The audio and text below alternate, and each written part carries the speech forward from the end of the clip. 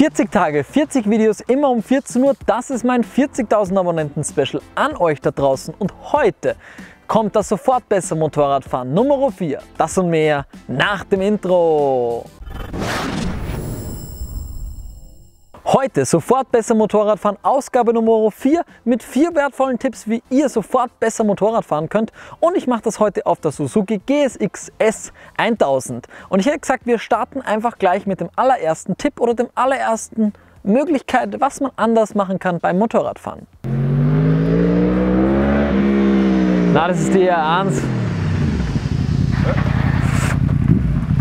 Lass uns mal leicht einsteigen und dafür nehmen wir die Fußposition her. Denn habt ihr euch mal Gedanken gemacht, wie ihr euren Fuß auf der Fußraste platzieren müsst, damit ihr besser, schneller und effizienter seid?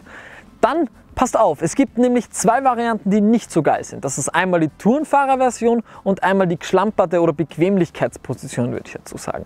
Das ist einmal, wenn ich so stehe und einmal, wenn ich komplett nach vorne unterm Bremshebel bin oder allgemein permanent den Fuß da habe, wo er nicht sein sollte und Streifen tut auf der Straße.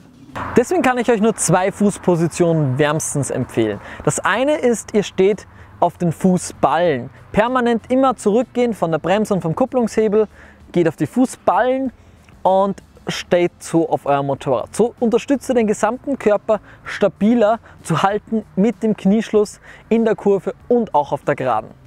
Wenn ihr etwas sportlicher und noch aggressiver am Motorrad sitzen wollt, könnt ihr das Ganze natürlich auch mit den Zehenspitzen machen. Hier ist aber die Gefahr, dass ihr abrutschen könnt. Zum Beispiel, wenn ihr so Gumminoppen auf der Fußraste habt, die ein bisschen nass sind oder so, dann rutscht man sehr schnell ab und das ist auch nicht gut.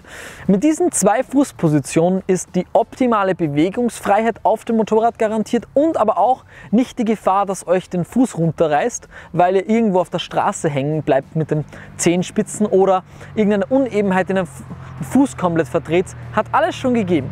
Diese zwei Positionen sind sozusagen die empfehlenswertesten. Mein Tipp Nummer zwei ist Hieroglyphen auf der Straße lesen und da meine ich verschiedene Punkte. Als allererstes kennt ihr alle die ganz normalen Kurvenpfeile, die wir hier auch im Hintergrund überall haben. Das heißt für euch strenge, starke Kurve. Aber was viel besseres Zeichen ist für starke Kurve, ist, wenn ein Unterfahrschutz für die Leitplanke verbaut worden ist, der nur für uns gemacht wird, also für uns Motorradfahrer. Denn wenn wir da reinrutschen, reißt uns nicht die Gliedmaßen ab, denn eine ungeschützte Leitplanke kann es passieren, dass du ein Arm, Bein oder auch im schlimmsten Fall den Kopf verlierst. Und wenn ihr das seht, dann bremst lieber runter, weil dann wisst ihr, in der Kurve haben sich mehr Motorradfahrer als üblich verschätzt und da war es auch schon zu schweren Unfällen gekommen. Denn nur dann werden normalerweise solche Leitplanken unter Schutz angebracht. Doch es wurde auch etwas Neues gemacht. Es gibt mittlerweile Haifischzähne, Linien und Kreisal, auf der Straße. Und wenn ihr nicht wisst, was das bedeutet, dann passt jetzt genau auf, denn wir sind hier auf der kalten Kuchel, wo spezielle Linien angebracht wurden, damit wir alle gemeinsam besser und sicherer durch die Kurve kommen. Denn ganz ehrlich, wenn du kalte Kuchel rauf und runter heizt, das ist in Österreich eine ganz berühmte Motorradstrecke mit lauter Motorrädern, ähm, dann passiert es ganz schnell, dass Motorradfahrer auf deiner Spur dir entgegenkommen. Und das ist alarmierend. Und diese Stricherl und Kreisal und Haifischzähnchen sind eine super Möglichkeit, um deine Kurvenskills zu verbessern, um einfach zu checken, okay, fahre ich im weißen Bereich oder fahre ich nicht im weißen Bereich? Wenn ich reinziehe in die Kurve, soll ich mit dem Vorderrad natürlich nicht auf dem weißen Bereich sein, sondern maximal mit dem Oberkörper. Und das ist auch schon eher die Ausnahme. Noch weiter Außenlinie wählen, am besten mit dem Kopf am Anfang der weißen Linie sein. Denn meistens, wenn man Kurven fährt, merkt man das erst, wenn dich wirklich wer mit der Kamera filmt und du dir das im Nachhinein anschaust und merkst, boah, ich war ja mit meinem Oberkörper schon im Gegenverkehr.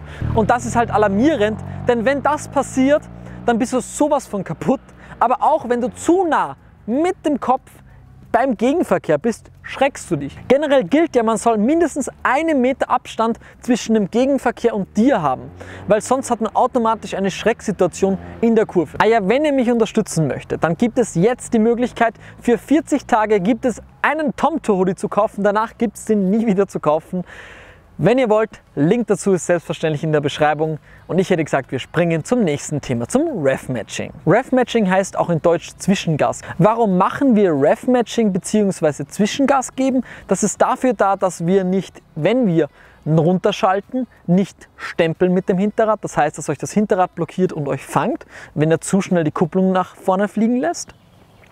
Aber auch machen wir das einfach, um schneller zu sein. Und der nächste Grund, warum wir das machen, ist, um cooler zu sein, denn Rev Matching hört sich wirklich, wirklich geil an.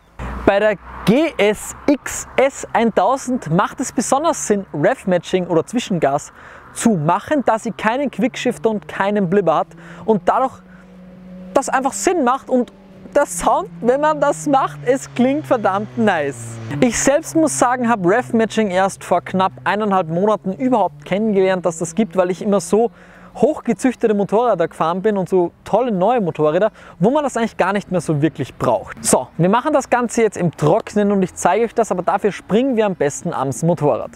So, das Rev-Matchen erkläre ich euch am Motorrad, da fällt es mir leichter. Rev-Matching, muss man ganz klar sagen, ist nur zum Runterschalten und Schalten ohne Kupplung ist nur zum Raufschalten. Das ist der nächste Tipp. Aber jetzt erstmal Rev-Matching. Hier geht es darum, eben, dass wir schneller und smoother sind. Also, zuerst machen wir den Move auf den Schalthebel. Dann machen wir gleichzeitig Kurzkupplung ziehen und kurz einen Gasstoß geben, wenn wir die Kupplung auslassen. Das heißt, Kupplung ziehen und Gasstoß beim Auslassen. Einfach dieser Move ist es. Und so lange dauert es dann wirklich, einfach runterzuschalten. Zack, rein in die Kurve mit der Hinterradbremse, ordentlich rein und Vollgas wieder ausziehen und das haben wir die schnellsten und die Hürden auf der Straße. Was auch geht beim Rev Matching, was super geil ist, wenn du zu einer Kehre oder zu einer engen Kurve kommst, die du sehr spät einsiehst, Rev Match nach unten, bremst aber gleichzeitig mit dem Hinterrad in die Kurve rein, arbeitet grandios bei dieser Gixxer und bei jedem anderen Motorrad auch. Nächster Punkt ist Schalten ohne Kupplung. Da muss ich sagen, ich mache es eigentlich nur sehr selten oder wenn ich nur unter Druck fahre, also wirklich schnell fahren möchte. Sonst nehme ich ganz normal die Kupplung zum Schalten. Aber ich erkläre es euch jetzt mal, wie das funktioniert. Schalten ohne Kupplung machen wir nur aus einem Grund, um schneller zu sein. Und deswegen sage ich auch, ich mache das wirklich nur, wenn ich unter Druck fahre, also wenn ich wirklich schnell fahren möchte oder besonders sportlich sein möchte. Sonst nehme ich immer die Kupplung.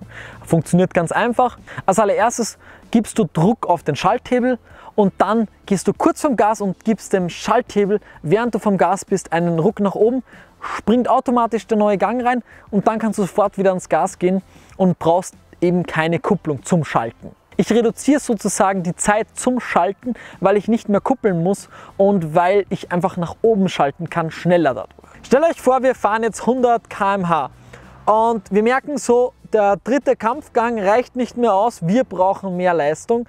Also gehe ich mit dem Fuß runter, bleib permanent auf dem Gas, tu leicht den Druck erhöhen auf den Ganghebel, gehe dann vom Gas weg und drück einfach nach oben und bin sofort wieder am Gas und dann ziehe ich davon. So, wenn euch einer dieser Tipps helfen konnte, dann schickt dieses Video doch mal euren Kumpels oder in eine WhatsApp-Gruppe hinein. Das würde mir enorm helfen und ich kann nur noch eins sagen, morgen um 14 Uhr kommt das nächste Video. Haut rein und pfiat euch!